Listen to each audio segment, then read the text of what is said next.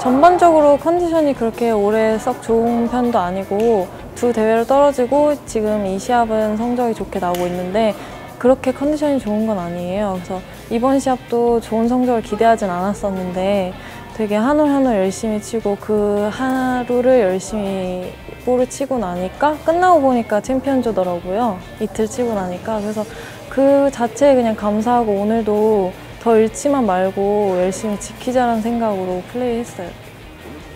어, 전반에는 정말 파 세이브하기가 힘들었고요. 그래서 파가 목표였고 잘 풀어 나가다가 후반에는 조금 이제 욕심나는 버디 퍼팅이 있었어요. 근데 아깝게 안 들어가 안 들어가더라고요. 잘 쳤는데 뭐 그런 건 하늘의 뜻이니 어쩔 수 없죠. 잘 쳤는데 안 들어가니까. 내일도 지키겠지만 그래도 좀 어제보다는 그래도 오늘 샷이 좀 괜찮았던 것 같아요. 드라이버가 되게 좀 문제가 많았었는데 조금 자신감이 생겨서 오늘보다는 공격적으로 그래도 마지막 날이니까 플레이 하려고. 몇 대안 나오니까 오히려 차분해지고 마음이 편안해지더라고요. 그래서 제 생각에도 남은 대회를 오히려 더 좋은 성적을 거두지 않을까 지금 기대를 하고 있어요.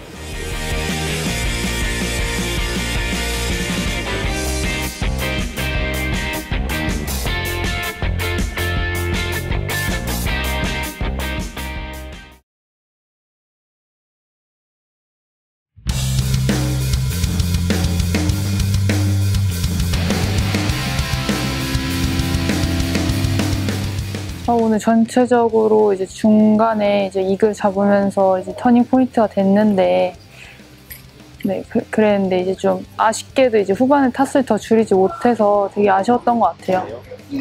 일단 오늘 티샷이 일단 너무 잘 가서 페어웨이 있어서 이제 4번 아이언으로 two on을 시킬 수 있는 거리라서 이제 two on을 try를 했는데 어떻게 잘 되게 퍼터도 잘 떨어져서 이글 할수 있었던 것 같아요.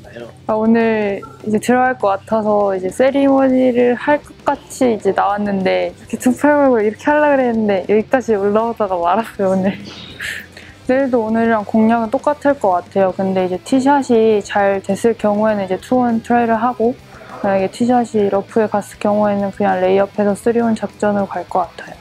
저는 이제 뭐 여기서 더 올라가도 뭐 더 내려가도 이제 잃을 거 없으니까 최대한 제일 즐겁게 그리고 공격적으로 플레이하면서 내일 하루 마무리 잘 하고 싶어요.